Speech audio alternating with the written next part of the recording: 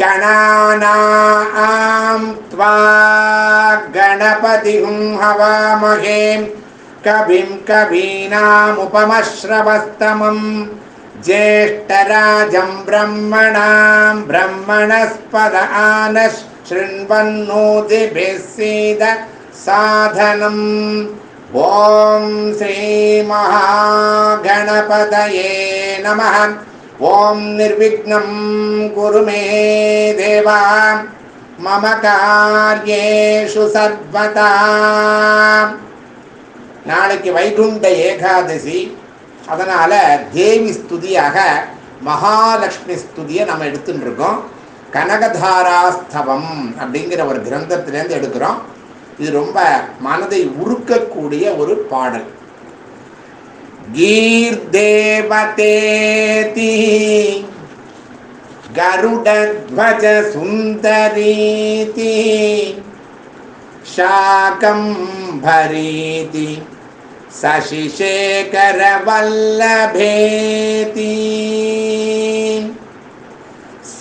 सृष्टिस्थिति प्रलयकेलिषु संस्थिताया। संस्थिताया। केलिषु संस्थिताया। प्रलयकेलिषु संस्थिताया। सृष्टिस्थिति प्रलयकेलिषु संस्थिताया तस्यै नमस्त्रिभुवनैग गुरोस्तरुण्यै மகாலட்சுமி பரிபூர்ண கடாட்ச சித்திரஸ்து இதில் வரக்கூடிய அந்த கீர் தேவதேதி அப்படிங்கிறது வந்து மகாலட்சுமிக்கு ஒரு பெயராக சொல்லப்படுகிறது அந்த பத்மாவதி தாயார் அலமேலு மங்கை எல்லாமே அந்த மகாலட்சுமியினுடைய ஸ்வரூபம் ஆண்டாள் எல்லாம் அந்த மகாலட்சுமியுடைய ஸ்வரூபமாக நினைத்து இந்த தேவி ஸ்துதியை நம்ம அர்ப்பணிக்கிறோம். அடுத்ததாக நம்ம திருசதியில் இன்னைக்கு நம்ம எடுத்துக்கக்கூடிய நாமம் வந்து ஐம்பத்தி ஒன்று ஃபிஃப்டி ஒன் ஈடுதாயை நமக அப்படிங்கிற அந்த நாமத்தை எடுத்துக்கிறோம். அப்போ ஈடுதாயை நமகான்னா என்ன வந்து நமக்கு அர்த்தம் அப்படிங்கிறத நம்ம புரிஞ்சுக்கணும். வேதத்திலும் ஆகமங்களிலும் புராணங்களிலும் துதிக்கப்பட்டவள் அப்படின்னு நம்ம நினச்சிக்கிறோம். அதாவது வேதம் ஆகமம் நூல் சாத்திரங்களில் புராணங்களில் மிகவும் போற்றப்படுபவள் அந்த அம்பிகை. ஒப்புமையாக என்ன சொல்கிறோம் அப்படின்னா வேதேஷு தர்ம வசனேஷு ததா கமேஷு ராமாயணே அபிச்ச புராணம் கதம்பகேவா. சர்வத்திர சர்வ விதினா கதிதஸ்துவமேவ தஸ்மாத் துவமேவ சரணம். மம சங்கபாணி. இது ஆதி சங்கராச்சாரியாரனுடைய ஒரு ஸ்துதியாக நம்ம இந்த இடத்துல ஒரு ஒப்புமை கொடுக்குறோம். ஏன்னா அம்பாளை வந்து எங்கெல்லாம் சொல்லியிருக்கா? ஸ்ருதின்னு சொல்கிறோம் இல்லையா? வேதம். அதுலேயும் வேதங்கள் உபனிஷத்துகள் ஆகமங்கள் மற்ற ரிஷிகளால் அருளி செய்யப்பட்ட நூல்கள் எல்லாத்திலையும் அம்பிகையினுடைய பிரதாபம் பிரபாவம் எல்லாமே சொல்லப்பட்டிருக்கிறது என்பதைத்தான் நம்ம இந்த இடத்துல சொல்லிக்கிறோம் வேதாந்த சாஸ்திரங்களினால் பெரிதும் வணங்கி துதிக்கப்படுபவள். நம்முடைய அன்னை. நம்முடைய தாயார் எந்த அளவுக்கு பிரசித்தம் அப்படிங்கிறத நம்ம புரிஞ்சுக்கணும். வேத ஆகமங்கள் சாஸ்திரங்கள் யாரை உணர விசாரம் செய்கின்றனவோ? ஏன்னா அம்பிகையை பற்றி அவ்வளோ சீக்கிரம்லாம் புரிஞ்சுக்க முடியாது. யாரை குறித்து விசாரம் செய்கின்றனவோ அதுவாகவே பராசக்தி விளங்குகிறாள் என பொருளும் கொள்ளலாம். இது இன்டைரக்டா சொல்லக்கூடியது முதல்ல சொன்னது டைரக்டா சொன்னது. வேத வேத்யாயை நமகான்னு அம்பாளுக்கு லலிதா சகஸ்ரநாமத்தில் ஒரு நாமம் இருக்கு. வேத வேத்யாயை நமக.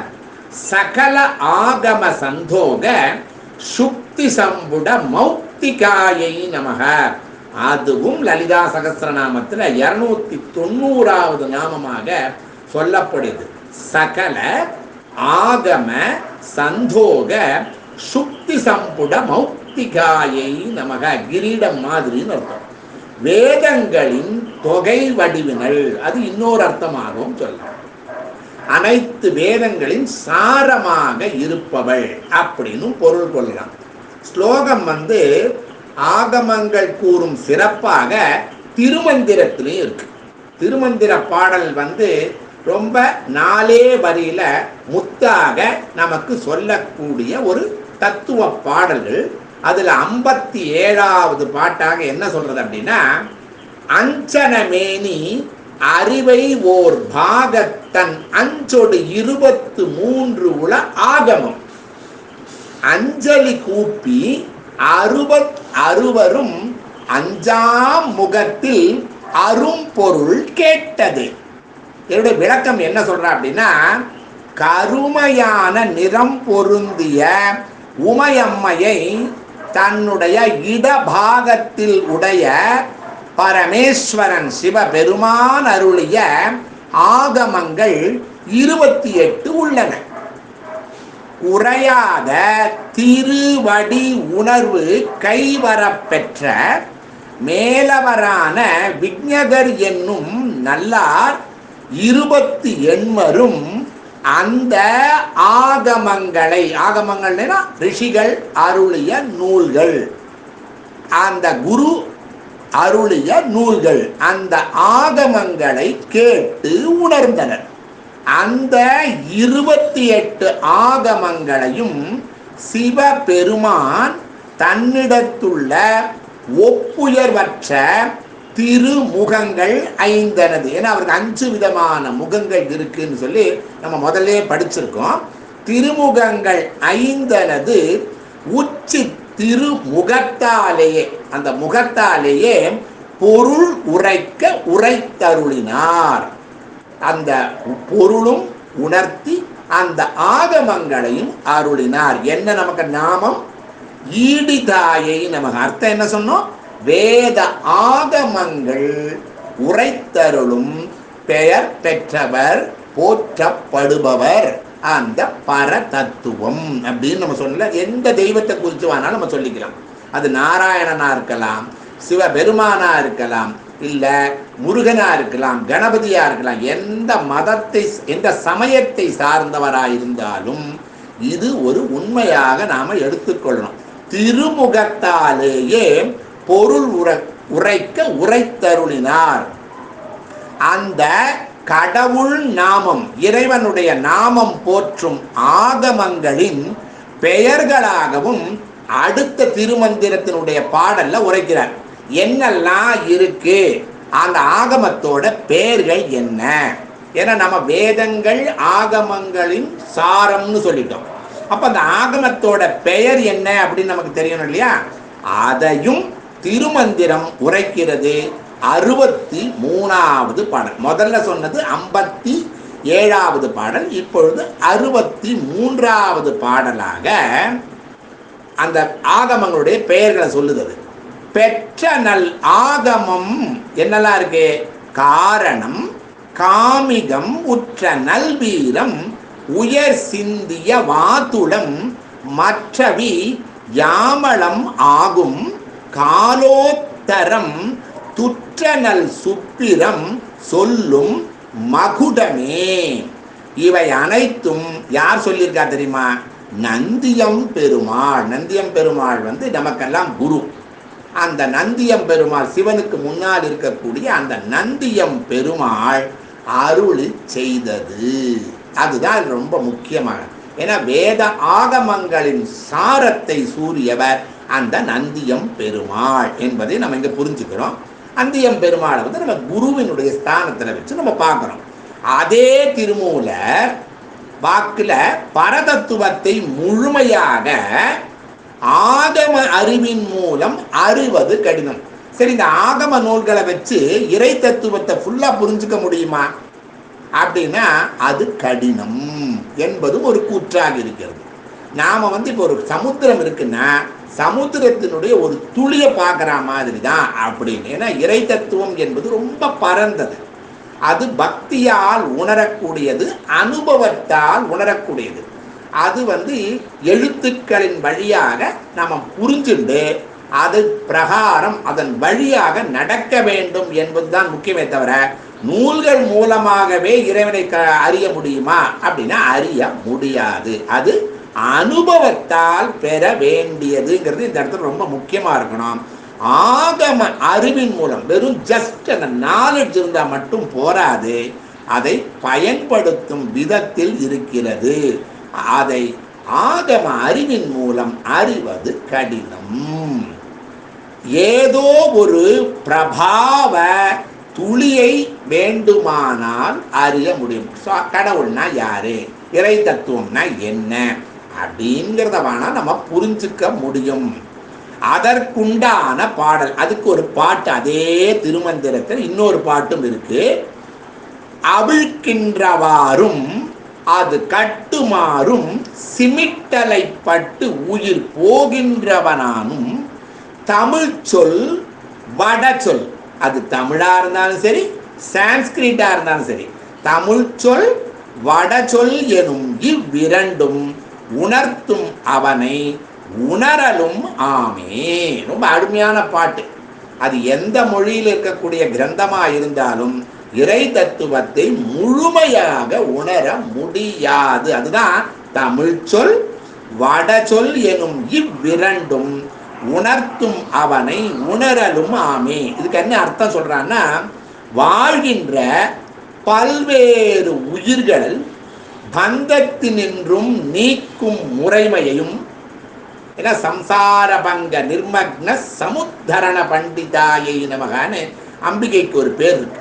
நம்மளுடைய இந்த வாழ்க்கைங்கிற இந்த சேத்துலேருந்து நம்மளை மீட்டு எடுக்கணும் இல்லையா? அந்த பந்தத்தினின்றும் நீக்கும் முறைமையையும் பந்தத்தில் மீண்டும் விழும் முறையும் ஒருவேளை அடுத்த பிறவி வருதுன்னு வச்சுக்கோ. மிருத்யவே ஸ்வாக மிருத்யவே ஸ்வாஹா அப்படின்னு சொல்லியிருக்கு இந்த இறப்பு என்பதை நாம் ஒரு ஆகிருதியாக கொடுக்குறோம். அதற்கும் மீறி வேறொரு பிறவி வருதுன்னு வச்சுக்கோங்க. ஸோ பந்தத்தினின்று நீக்கும் முறைமையும் அது ஒன்று பந்தத்தில் மீண்டும் விழும் முறையையும் தன் கண் இமைத்தல் ஒழுத்து. அந்த இரையானது கண் அப்படி சிமிட்டுறது கூட ம- செய்யறது கிடையாதான் ஏன்னா அந்த கண் சிமிட்டுற நேரத்தில் வந்து உயிர்களை பாதுகாக்க முடியாமல் போய்விடுமோ அப்படிங்கிறதுனால. அதுக்கு என்ன லலிதா சாஸ்திரநாமத்தில் இருக்கு? உண்மோ உன்மேஷ நிமிஷோத்பன்ன விபன்ன புவனாவல்யை நமக. அந்த கண்ணை மூடி கண்ணை திறக்கிறதுக்குள்ள ஒரு கண்ணை மூடியாச்சுன்னா அது வந்து பிரளயம். கண்ணை திறந்தா அது சிருஷ்டி.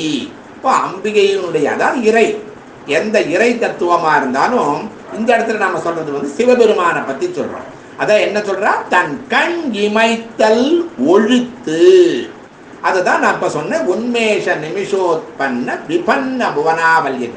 நீங்கள் எப்படி தன்னுடைய குஞ்சுகளை பாதுகாப்பதற்காக அப்படியே கண்ணாலேயே நயன தீட்சை கொடுத்து கொண்டிருக்கிறதோ அதுபோல அந்த உயிர் போகின்ற முறையையும் எந்த வழியில் அந்த உயிரானது போகும் என்ற முறையையும் எந்த ஆகமங்களும் எந்த நூல்களும் சாஸ்திரங்களும் முழுமையாக எடுத்து அந்த இடத்துல முழுமையாகங்கிறத அண்டர்லைன் பண்ணிக்கணும். அப்புறம் எதுக்கு படிக்கணுங்கிற பேர் வரக்கூடாது.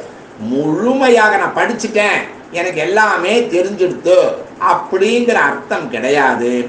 அதை அனுபவத்தில் உணர வேண்டும்ங்கிறது முக்கியமே தவிர ஏதோ எம்எஸ்சி பிஎஸ்சி படித்தேன் எம்எஸ்சி ஒரு பட்டம் வாங்கினேன் எம்ஏ ஒரு பட்டம் வாங்கினேங்கிற மாதிரி ஏதோ ஒரு கிரந்தத்தை நான் படித்தேன் தேவி பாகவதம் படித்தாச்சு தேவி மகாத்மியம் படித்தாச்சு எனக்கு எல்லாம் தெரியுங்கிற அந்த அர்த்தம் அந்த செருக்கு வந்துவிடக்கூடாது என்பதற்காக எந்த ஆகமங்களும் முழுமையாக எடுத்துரைத்தல் என்பது மிக மிக எத்தனை மிக வேணா போட்டுக்கலாம். மிக கடினம். அதனால வெறும் நூல்களை நம்பி அதன் வழி செல்வதற்கு நம்ம அதை ஒரு கைடன்ஸாக வச்சுக்கலாமே தவிர அதனாலேயே எனக்கு எல்லாம் தெரிஞ்சுடுத்தோ அப்படிங்கிறத நம்ம நினைக்கக்கூடாது. அனுபவத்தில் பக்தியால் ஆழ்ந்த தியானத்தில் உணர வேண்டியது அந்த பர தத்துவம் என்பதை தான் இந்த திருமூலர்களுடைய பாட்டு வந்து ரொம்ப அழகாக இருக்கும். அவிழ்க்கின்றவாறும் அது கட்டுமாறும் சிமிட்டலை பட்டு உயிர் போகின்றவனும் தமிழ் சொல் வடசொல் எனும் இவ்விரண்டும் உணர்த்தும் அவனை உணரலும் ஆமே. இது ரொம்ப அருமையான பாடல்கள்.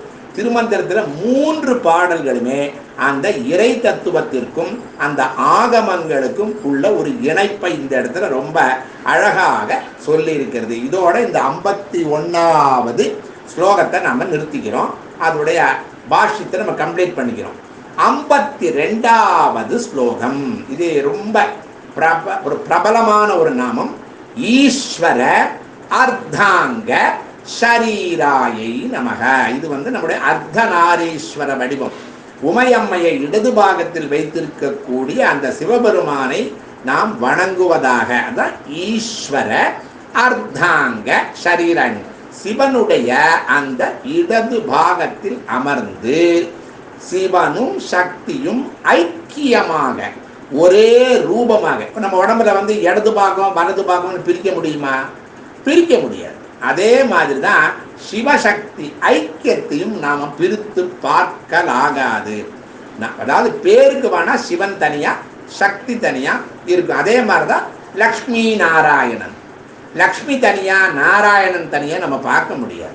பேரே என்னது? லக்ஷ்மி நாராயணன் அப்படின்னு தான் நம்ம சொல்றோம். இதுக்கு வந்து நம்ம என்ன அர்த்தம் அப்படிங்கிறத நம்ம பார்க்கலாம் இப்போ. பரமசிவத்தின் பாதி சரீரம் உடையவள் இடது பாகம் உடையவள். ஸ்ரீருத்ரத்தில் என்ன சொல்லியிருக்கு?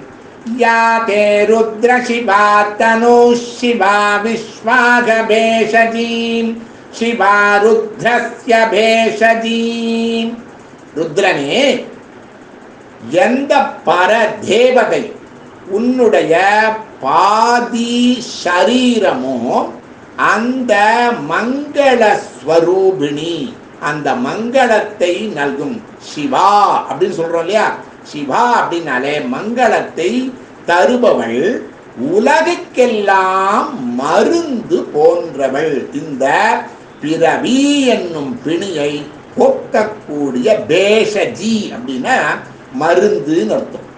மருந்து போன்றவள். உனக்கும் மருந்தாகியவள் அந்த அன்னை. ஸ்ரீருத்ரத்தில் ரொம்ப அழகான நாமம் இது. இதையே வந்து ரகுவம்சம் இருக்கு இல்லையா? காளிதாசன் மகாகவி காளிதாசன் இருக்கார் இல்லையா?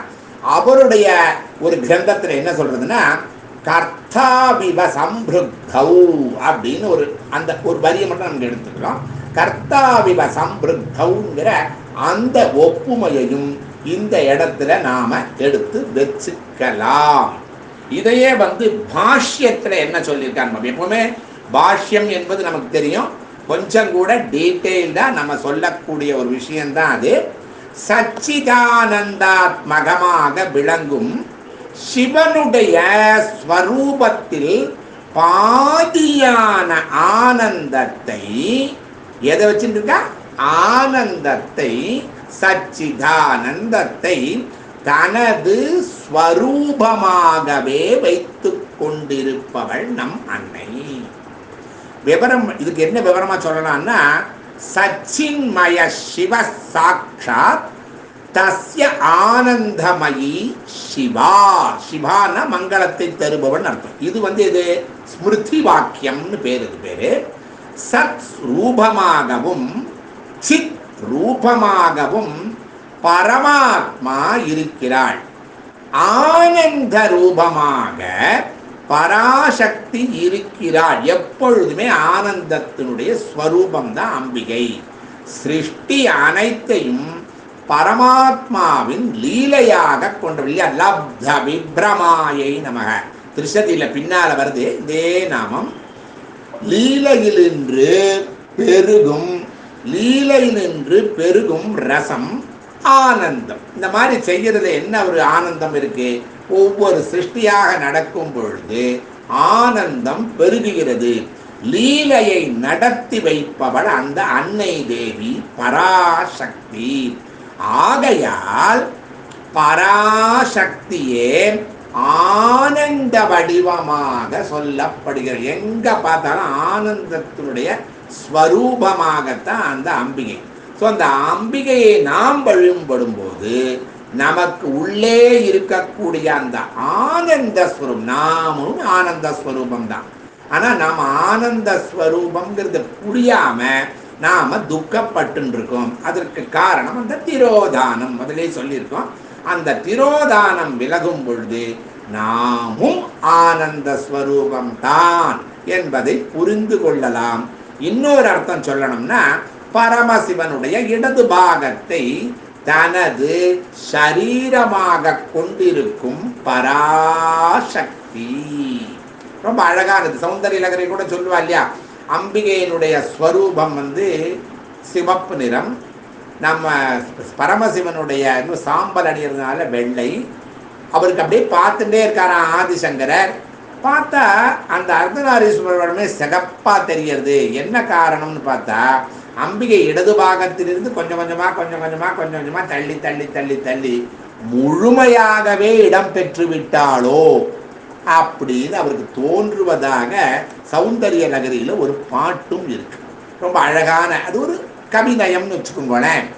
ஓர் உடலை எப்படி இடது பாதி வலது பாதி என்று பிரிக்கவே முடியாதோ அதை போலவே பராசக்தியையும் அந்த பரமசிவனையும் பரமாத்மாவையும் பிரிக்கவே முடியாது. அதான் ஈஸ்வரார்த்தாங்க சரீராயை நமக.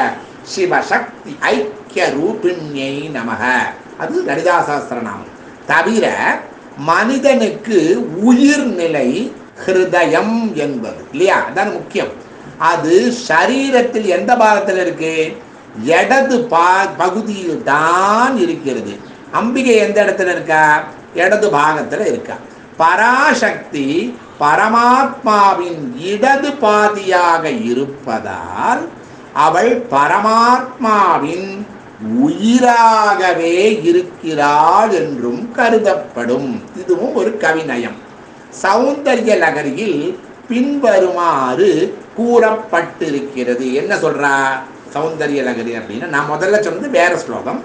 சுதாம் அபியாஸ்வாத்திய பிரதிபய ஜரா மிருத்யு ஹரிணி விபத்தியந்தே விஸ்வே விதிஷதா மகாத்யா த்விஷத. கராலம் பவத் க்ஷேலம் கபலிதவத காலகலனான சம்போஸ்தன் மூலம் தவ ஜனனி தாட்டங்க மகிமா. இது ரொம்ப அருமையான பிரசித்தமான இந்த பாட்டு இந்த பாட்டு. அதாவது என்னன்னா அமிர்தம் என்கிறத வந்து குடிச்சாச்சு அப்படின்னா இறப்பு என்பதே கிடையாது. அதுதானே எல்லாருடைய நம்முடைய முன்னோருடைய கருத்தும் அதுதான்.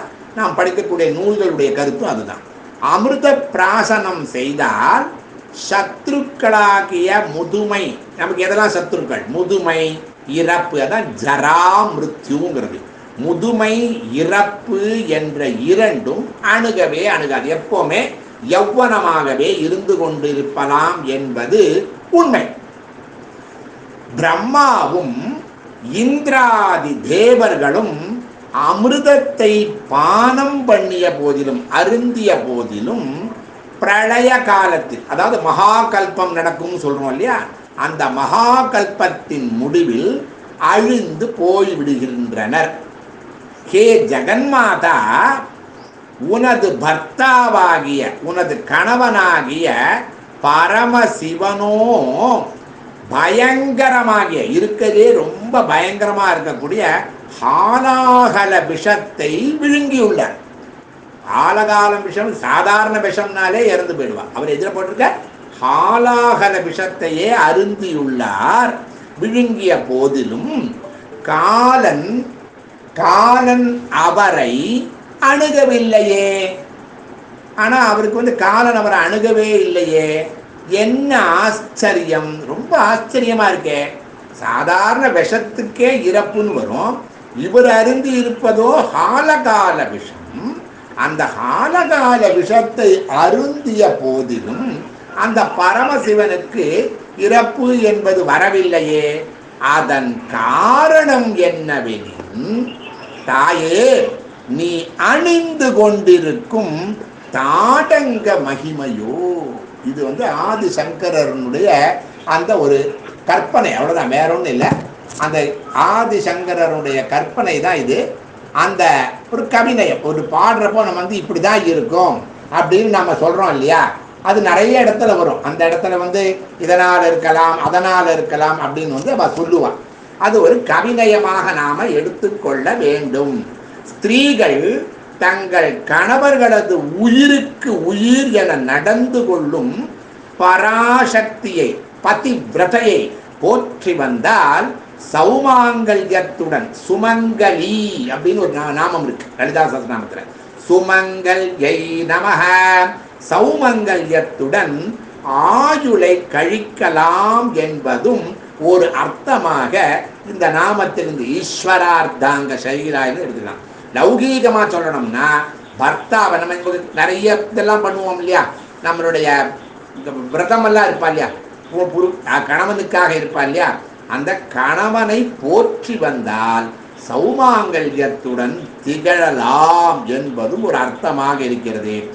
பரமேஸ்வரனுடைய பீஜ மந்திரமாகிய ஹம் என்பதில் பாதி பராசக்தியின் பீஜம். அம்பிகைக்கு என்னது? ஹ்ரீம் ஸோ பரமேஸ்வரனுடைய பீஜ மந்திரம் என்னது? ஹம். இப்போ பாதி பராசக்தியின் பீஜ மந்திரமாக விளங்கிக் கொண்டிருப்பதால் பரமேஸ்வரனுடைய எல்லா இடத்துலையும் பாதி பாதின்னு வர்றதுனால பரமேஸ்வரனுடைய பாதி சரீரத்தை பராசக்தி கொண்டிருக்கிறாள் என்பதும் மூன்றாவது அர்த்தமாக கொள்ளலாம். இதுதான் பாஷ்யம்ங்கிறது. பாஷ்யம் வந்து ரொம்ப டெப்த்தில் போயிட்டே இருக்கும்.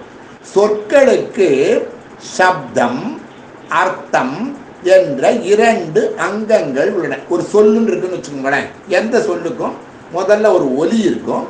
அந்த ஒலியை ஒலிக்கும் போது அதனுடைய ஒரு அர்த்தம் நமக்கு தெளிவாகும். அதுதானே வந்து பாஷைங்கிறது. சப்தம் இல்லாமல் அர்த்தம் துணிக்காது சப்தம் இல்லைன்னா என்ன அர்த்தம் இருக்கு நான் ஒன்றுமே சொல்லலைன்னா என்ன அர்த்தம் எப்படி புரிஞ்சுக்கிறது? அர்த்தம் துணிக்காமல் சப்தத்தை சொல்ல முடியாது. இப்போ இந்த ரெட்டை கிழவி அப்படின்னு நமக்கு தமிழில் படிச்சிருப்போம். ரெண்டு வார்த்தை வரும். ஆனால் ரெண்டு வார்த்தைக்கும் பெருசாக ஒன்றும் அர்த்தம் இருக்காது. ஆனால் அதில் ஒலி இருக்கும். இல்லையா? அப்போ ஒலி மட்டும் இருக்கிறது. அர்த்தம் இல்லை என்றாலும் அது பிரயோஜனம் கிடையாது. ஸோ சப்தம் இல்லாமல் அர்த்தம் துணிக்காது. அர்த்தம் துணிக்காமல் சப்தம் சொல்ல முடியாது. பராசக்தியும் எப்படி கொண்டு வர பாருங்க. பராசக்தியும் பரமேஸ்வரனும் வாக்கும் அர்த்தமும் போல இணைந்துள்ளனர். அதுதான் அங்க முக்கியம். எந்த அளவுக்கு பிணைப்பு? சொல்லுக்கு எப்படி அர்த்தம் வேணுமோ அதே மாதிரி பரமேஸ்வரனும் பரமேஸ்வரியும் அங்கு சேர்ந்து இணைந்து உள்ளார்கள். அதுதான் அந்த ஈஸ்வரார்த்தாங்க சரீராயை நமகாங்குள்ள பாஷ்யமா நம்ம பார்க்கிறோம். அந்த அர்த்தம் போல இணைந்து உள்ளனர் என்பதை யார் சொல்றா? மகாகவி காளிதாசன் கூறுகிறார். சொல்லில்லாமல் அர்த்தம் இல்லை அர்த்தம் இல்லாமல் சொல்லி அதாவது சப்தம் சாரி சப்தம் இல்லாமல் அர்த்தம் இல்லை அர்த்தம் இல்லாமல் சப்தம் இல்லை சப்தம் சக்தி வடிவம் அர்த்தம் சிவ வடிவம். அர்த்தம் தெரியாமல் இருந்தாலும் கூட கான சப்தம் ஆனந்தத்தை தருகிறது. முன் கூறிய முதலாவது அர்த்தத்தில் பராசக்தி ஆனந்த வடிவமாக சொல்லப்பட்டாள் அதாவது ஹம் என்ற பரமேஸ்வர பீஜாட்சரத்தில் சப்த வடிவமாக பராசக்தி இருக்கிறாள். இதுவும் மூன்றாவது அர்த்தமாக இந்த நாமத்திற்கு கொள்ளலாம் என்பது பாஷ்யத்தினுடைய முடிந்த முடிவு. சௌந்தரிய நகரியில் இருக்கக்கூடிய இருபத்தி எட்டாவது நம்ம சொன்னோம் இல்லையா இப்போ ஒரு ஒரு ஸ்லோகம் சொன்னோமே இப்போ அந்த ஸ்லோகத்தினுடைய தமிழாக்கத்தை பார்க்கலாம். பார்க்கடல் கடைந்தே அமுதினை பகிர்ந்து பருகையன் முதலிய தேவர் நேர்படு மூப்பு பிணி துயர் தீர்ந்து நிலைக்கினும் ஊழியில் மடிவர். அவங்கெல்லாம் போயிடுவாங்க. தீர்த்தனோ தீர்த்தன்னா பரமசிவன் தீர்த்தனோ கொடிய ஆல காலத்தை தின்றனன். எனினும் வாழ்வான் கார்த்தடங் கண்ணி நின். எதனால? கற்புடன் தோடும் காத்தது. அதான் தாடங்க மகிமை. தோடும் காத்தது யார காத்தது? நீல கண்டனை அன்றோ. ரொம்ப அழகான ஒரு ஸ்லோகம் பாட்டு. ரொம்ப கேட்பதற்கு இனிமையா இருக்கும். அதாவது இதில் கவிநயத்தை தான் நம்ம பார்க்கணுமே தவிர ரொம்ப அதுக்குள்ள அர்த்தத்துக்குள்ள நம்ம போகாம அதாவது சிவசக்தி ஐக்கிய ரூபமாக இருக்கிறாள். லௌகீகத்திலையும் நம்ம சிவசக்தியாகவே கணவனும் மனைவியும் இணைந்து வாழும்போது வாழ்வு ருசிகரமாக இருக்கும் அப்படிங்கிற அந்த அர்த்தத்தை தான் நாம் இங்கே இடத்துல புரிஞ்சுக்கிறோம். இதோட அந்த ஐம்பத்தி ரெண்டாவது ஸ்லோகத்தை முடிச்சுக்கிறோம். ஸோ இன்னைக்கு இதை நம்ம ஃபினிஷ் பண்ணிக்கலாம். ॐ पूर्णमदः पूर्णमिदं पूर्णात् पूर्णमुदश्यते। पूर्णस्य पूर्णमादाय पूर्णमेवावशिष्यते। ॐ शान्ति शान्तिं शान्तिग्रीं हरिः वो